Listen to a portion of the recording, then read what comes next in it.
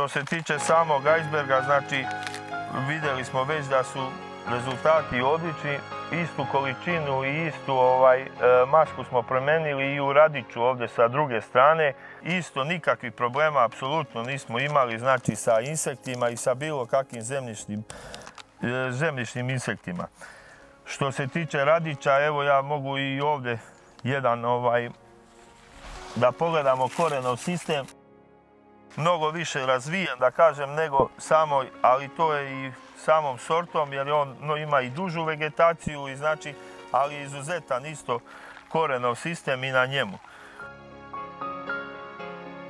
još nešto što je jako karakteristično za ovo sredstvo, prošle godine smo imali izuzetan napad od puta gdje je ovaj, zapušteno i dosta ima korova. Imali smo izuzetan napad puža, što u ovoj godini nigdje, ni u tragu ga znači nije bilo. Na ovoj parceli, ni na Radiću, ni na Icebergu, nikakve tragove kao što se možete i uveriti, puža nije bilo. Po meni iskreno najveća prednost ovog sredstva u odnosu na sve druge zemljište insekticide je u tome što ćemo dobiti ekološki zdraviju hranu. Cijela Europa i cijelo svijet teži trenutno kao organskoj proizvodnji. Mi sa ovim sredstvom dobit ćemo jednostavno da ne moramo da koristimo prave zemljišne insekticide, nego imat ćemo znači nešto, neki proizvod bukvalno koji će biti gotovo organskog porekla.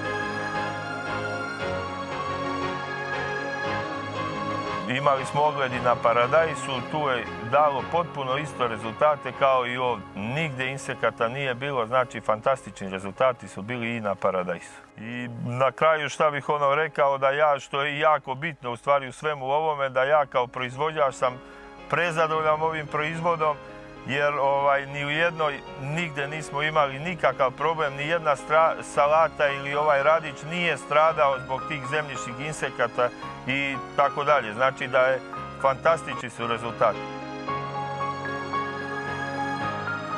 Pa svakako mi ćemo ga koristiti sljedeće godine na svim površinama i u plastenicima i na otvorenom jer je dalo fantastičan rezultat.